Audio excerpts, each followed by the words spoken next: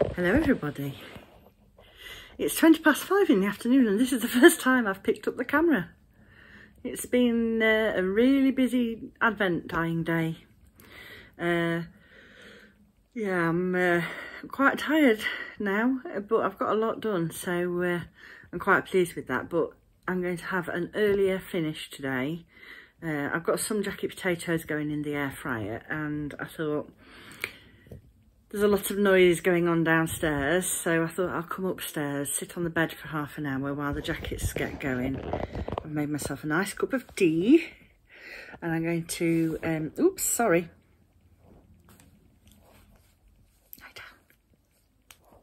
Silly thing.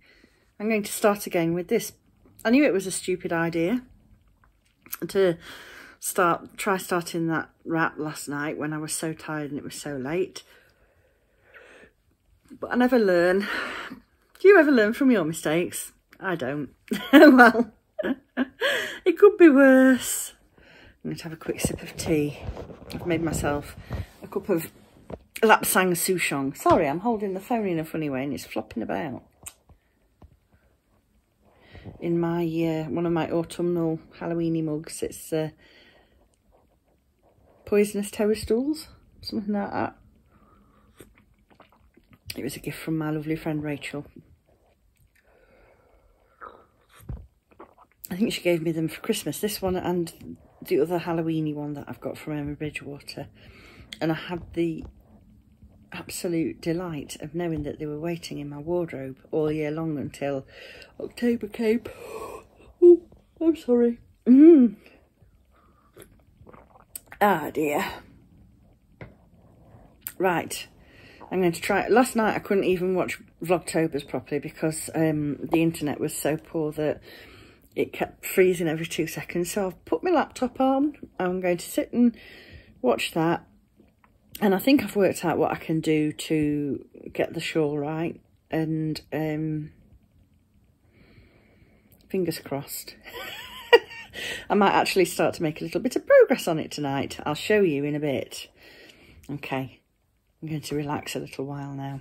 I've still got undealt with Halloween decor that I need to find homes for so I can get tidied up in this corner. So I'm going to sort that right now.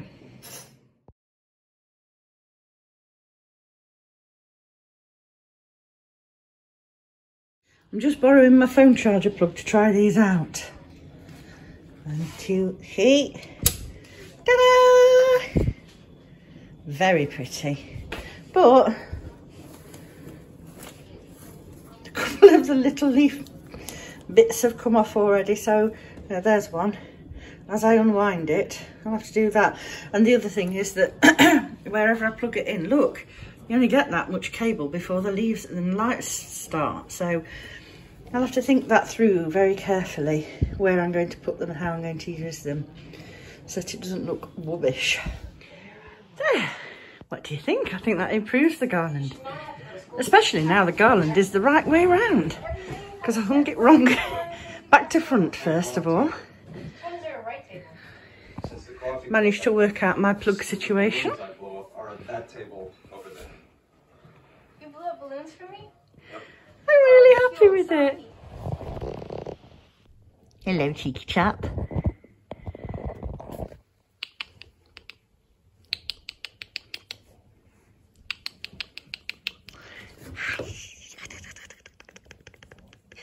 He's got me.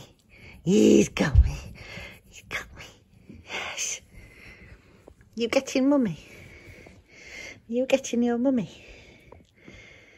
Oh, what a beautiful boy. What a beautiful boy.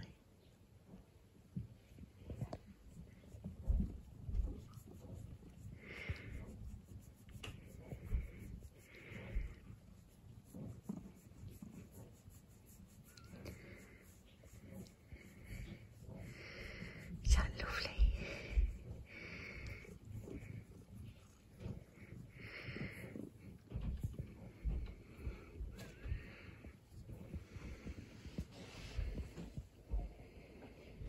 I've put some more pumpkins and things up here on top of the piano.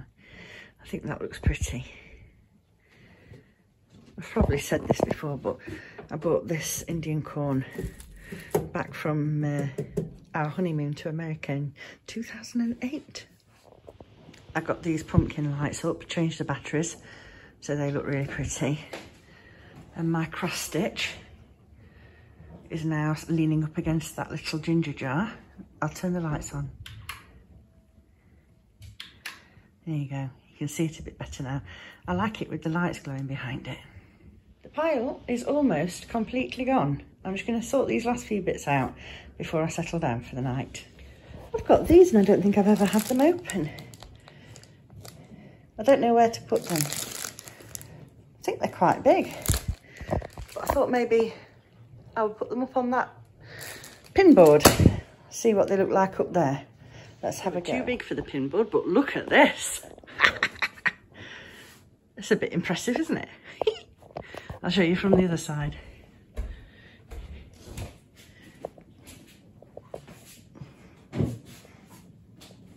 And he, I can just about get under there without banging my head on them. Tell you what else I'll show you. I'll have to show you tomorrow as well. I put the uh, English paper pieced pumpkin here and it works like um, a bit of a sun catcher stained glass effect. Even though it's got a layer of interfacing and a layer of felt on the back, the light still shines through it and it glows and it looks really nice.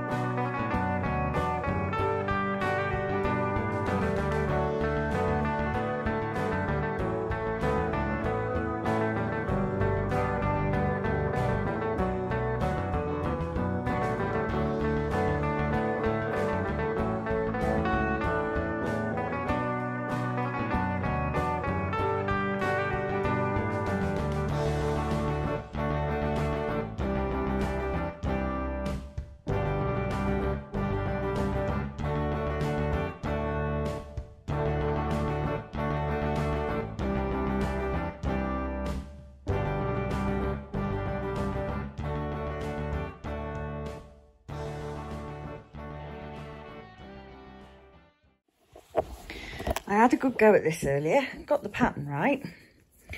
Um, but as you can see, it's extremely wide. And without mucking around even more with the pattern, which I don't really want to do, because it's a great pattern just as it is, I don't. I think I'm going to end up with far too wide and shorter um, a rectangle for a wrap using this pattern with this particular set of yarn. So what I've decided I'm going to do is scrap the idea of pairing the pattern and this yarn together. Uh, I'm going to choose another one that I was looking at for this um, particular project and then I'm going to get myself a Scheepjes whirl and a Whirlette to go with it and make make this pattern in um, the proper yarn.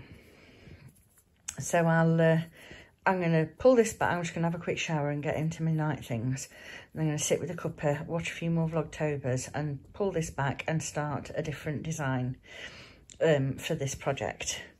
And maybe tomorrow I will have an actual start of a wrap to show you. Fingers crossed. And I must get this nail varnish off. It's started to chip and I hate that. So I'm going to take that off before I have my shower. I will see you tomorrow. And so will Zero. cutie. Look at that. Ta-ta for now.